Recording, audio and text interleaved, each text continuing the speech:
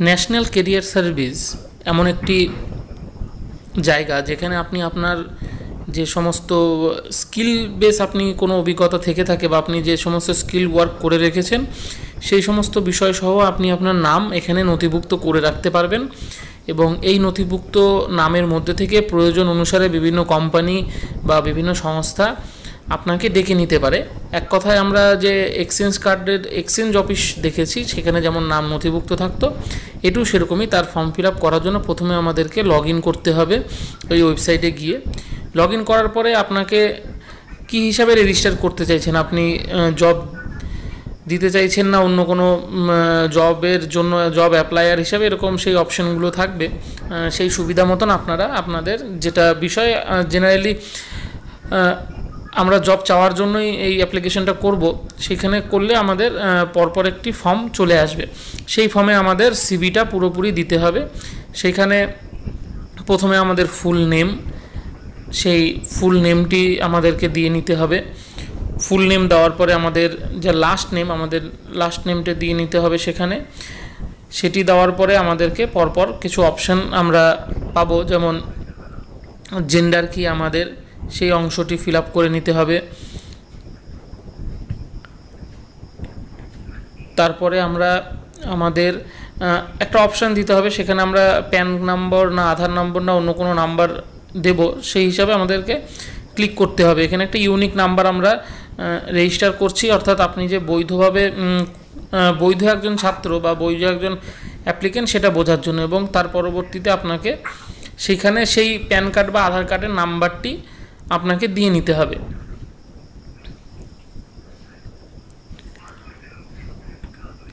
Pan বা আধারটা দেওয়ার পরে আপনাকে একবার চেক করে নিতে পারবেন আপনি যে সেটি সঠিক কিনা। আপনি এখানে কোনো কারণে যদি ভুল দেন, তাহলে কিন্তু সেটি অ্যাডমিট হবে না। তারপরে আপনাকে আপনার ডেট অফ বার্থ দিতে হবে।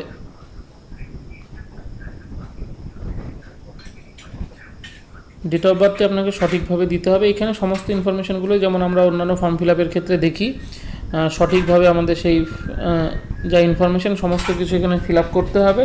এটুই এক ধরনের চাকরির অ্যাপ্লিকেশন করার মতনই যে আপনি অ্যাপ্লিকেশন করে রাখছেন, যদি প্রয়োজন হয় সেখান থেকে আপনাকে ডেকে নেওয়া হবে। এরপরে আপনার গার্জেন নেম সেই গার্জেন নেমটি আপনাকে দিয়ে নিতে হবে। পরপর আপনার অপশানগুলি রয়েছে, যেমন হায়েস্ট এডুকেশন লেভেল আপনি কি হায়েস্ট এডুকেশন লেভেলে রয়েছেন, আপনি সেটা দিতে পারেন। এখানে পরপর আপনি অপশানগুলো পাবেন সেই অপশানের মধ্যে আপনার যেটা ডিগ্রি সেটি আপনি দেবেন এবং তারপরে আপনি সেই এডুকেশনটা কি পড়েছেন আর্টস এ মাস্টার ডিগ্রি বা অপশানগুলি আপনি সায়েন্স বা অন্য যে কোনো ক্ষেত্রে আর্টস সায়েন্স বা আপনি যদি কোনো টেকনিক্যাল এমটেক বি এরকম কোনো কিছু বা বিটেক যাই কিছু করে থাকুন, আপনার সেই ডিগ্রি হিসাবে অপশানগুলি আপনারা ড্রপ বক্সে পেয়ে যাবেন। সেখান থেকে আপনার যে ডিগ্রিটি সেটি আপনার সেখানে আপনি তার উপরে এন্টার করলে বা সেইটাকে ক্লিক করলে সেটি এই ফর্মে নথিভুক্ত হয়ে যাবে। আপনার এডুকেশনের এই অংশটি আপনি নথিভুক্ত করার পরে আপনাকে পরবর্তী যে অপশান সেই অপশানে গিয়ে আপনাকে আপনার যে সাবজেক্ট রয়েছে, সেই সাবজেক্টটি উল্লেখ করতে হবে। আপনি কোন সাবজেক্টের উপরে স্পেশালাইজেশন করেছেন বা আপনি কোন সাবজেক্টের উপরে সেই ডিগ্রিটি কমপ্লিট করেছেন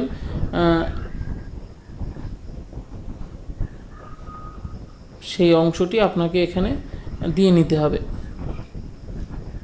সেটি দেওয়ার পরে আপনাকে আপনার কোন ইউনিভার্সিটির আন্ডারে বা কোন বোর্ডের আন্ডারে আপনি সেই ডিগ্রিটি কমপ্লিট করেছেন। যেটি সুবিধা, সেখানে এখানে আপনি ক্লাস টেন থেকে আরম্ভ করে একদম হায়ার এডুকেশন অবধি সমস্ত কিছুই আপনি এখানে নথিভুক্ত করতে পারেন বা যে কোনো লেভেলে আপনি যদি পড়া ছেড়ে দিয়ে থাকেন, সেটাও আপনি সেই, যেটুকু অবধি আপনি করেছেন, সেই অবধি নথিভুক্ত করতে পারেন। তারপর আপনি কোন ইয়ারে সেই ফাইনাল ডিগ্রি পাস করেছেন, সেই ইয়ারটি আপনাকে দিয়ে নিতে হবে। দেওয়ার পরে আপনার মিডিয়াম কি? আপনি হিন্দি মিডিয়াম বা ইংলিশ মিডিয়াম বা বাংলা মিডিয়াম যে বিষয়ে পড়েছেন, সেই অপশানগুলো আপনি পেয়ে যাবেন। সেই অপশানের মধ্যে থেকে একটি আপনাকে চুজ করে দিতে হবে। এখানেও ড্রপ বক্সের মধ্যে সমস্ত অপশানগুলি আপনারা পাবেন। ড্রপ বক্সে সমস্ত অপশানগুলি থাকবে। তার মধ্যে থেকে আপনাকে একটি অপশন বেছে নিতে হবে এবং সেই অপশনটি আপনাকে ক্লিক করে দিলে সেখানে অপশনটি চলে আসবে। এবং আপনি কীভাবে করেছেন যে কোর্সের নেচারটি কী ছিল? সেই কোর্সের নেচার আপনাকে দিতে হবে। তারপরে আপনার ডিস্ট্রিক্টে আপনার স্টেটের নাম আপনি কোন স্টেট থেকে বিলং করছেন সেটি আপনাকে দিতে হবে। সেটি দেওয়ার পরে আপনার ডিস্ট্রিক্টের অপশন চলে আসবে। ডিস্ট্রিক্ট অপশন আপনি ড্রপ বক্সের মাধ্যমে আপনার ডিস্ট্রিক্টের নাম পেয়ে যাবেন। সেখান থেকে আপনি সিলেক্ট করে দিতে পারেন। এরপরে আপনাকে একটা ইউনিক ইমেল আইডি দিতে হবে। এই ইমেল আইডিটি কিন্তু আপনাকে অবশ্যই আপনার যে ইমেল আইডি সেই ইমেল আইডিটি ঠিকঠাকভাবে দিয়ে নিতে হবে বা একটি ইমেল আইডি কিন্তু আপনি দ্বিতীয়বার ব্যবহার করতে পারবেন না। সেই জন্য আপনি যে ইমেল আইডিটি দেবেন, সেটি খুব সাবধানের সঙ্গে দেবেন। ইমেল আইডিটিতে আপনার বিভিন্ন ধরনের যে চাকরি সংক্রান্ত খবর বা অন্যান্য বিভিন্ন ট্রেনিং এই পোর্টালে নাম তোলা থাকলে আপনি বিভিন্ন ট্রেনিংয়ের জন্য, বিভিন্ন কোচিংয়ের জন্য আপনার যা যোগ্যতা, সেই যোগ্যতা বেসিসে আপনি কিন্তু ডাক পাবেন না। এবং তারপরে আপনাকে একটি মোবাইল নাম্বার দিতে হবে। মোবাইল নম্বরটি খুব গুরুত্বপূর্ণ কারণ এক্ষেত্রে আপনাকে সেখানে সেই মোবাইলে এস এম এসগুলো আসবে। সেই কারণে আপনাকে মোবাইল নাম্বারটি কিন্তু সঠিকভাবে দিয়ে নিতে হবে। তারপর একটা ইউনিক পাসওয়ার্ড ক্রিয়েট করতে হবে। এই পাসওয়ার্ডটিও কিন্তু খুব গুরুত্বপূর্ণ এক্ষেত্রে। কারণ এই পাসওয়ার্ডটি আপনাকে মনে রাখতে হবে, পরবর্তী সময় আপনার লগ করার ক্ষেত্রে এই পাসওয়ার্ডটি আবার আপনার দরকার পড়বে এবং যতবার আপনি এখানে ঢুকতে চাইবেন বা আপনার যে সমস্ত ডিগ্রিগুলি নতুন আপনি অ্যাচিভ করবেন সেগুলোকে কিন্তু এই পাসওয়ার্ডের মধ্যেই দিতে হবে। এরপরে আসবে অপশন আপনার যে ইউজার নেম যেটা থাকবে, সেটা আপনি এই আপনার ফোন নাম্বার বা ইমেলের মধ্যে কোনটাকে দিয়ে চয়েস করছেন। আপনি সেই অপশনটি পাবেন, আপনি যেটাকে রাখতে চাইবেন সেটি আপনার ইউজার আইডি থাকবে এবং পাসওয়ার্ড আপনি সেট করেছেন, সেই পাসওয়ার্ডটি আপনার এখানে থাকবে। এরপর আপনার আসবে যে আপনি কোনো স্কিল বেস ওয়ার্কের সঙ্গে আপনি যুক্ত কিনা বা আপনার এরকম কোনো অভিজ্ঞতা রয়েছে নাকি, সেই স্কিলটা আপনাকে এখানে কিন্তু লিখতে হবে। দেখুন কি স্কিল লেখা আছে। এখানে আপনি যে কোনো বিষয়ে যদি অভিজ্ঞ হন, আপনার যদি কোনো স্কিল বেস অ্যাচিভমেন্ট থেকে থাকে, তাহলে সেগুলিকে আপনাকে এখানে অপশানে দিয়ে নিয়ে রাখতে হবে এবং তার পরবর্তী অংশে আপনাকে এই একটি সিকিউরিটি কোড দেওয়া আছে, এই সিকিউরিটি কোডটিকে আপনাকে টাইপ করে নিলে মোটামুটি আমাদের ফর্ম ফিল কিন্তু শেষের দিকে শেষ হয়ে যাবে এবং তারপরে আমাদেরকে একবার চোখ বুলিয়ে নিতে হবে পুরোটিতে এবং যে আমাদের টার্ম অ্যান্ড কন্ডিশন থাকছে তার ওখানে ক্লিক করে তারপরে আমরা ফাইনালি সাবমিট করলে আমাদের এই পুরো ফর্ম ফিল কিন্তু সম্পন্ন হয়ে যাবে। সেই সময় আপনাকে ফোনে একটি এস আসবে প্রথমে। ফোনের এস এম এসটির যে ওটিপিটি আপনি পাবেন, সেই ওটিপিটা আপনাকে ভেরিফাই করিয়ে নিতে হবে এখানে। আপনার ওটিপিটা পেলে আপনি সেই ওটিপিটা ক্লিক করবেন। ওটিপিটি ক্লিক করলে সেটি ভেরিফাই করে নেবেন। এই জন্য সঠিক ফোন নাম্বার দেওয়া প্রয়োজন এবং ফোন নাম্বারটি চালু থাকা খুব দরকার। কারণ এই ওটিপি না এলে আপনার ফর্ম ফিল সম্পূর্ণ হবে না।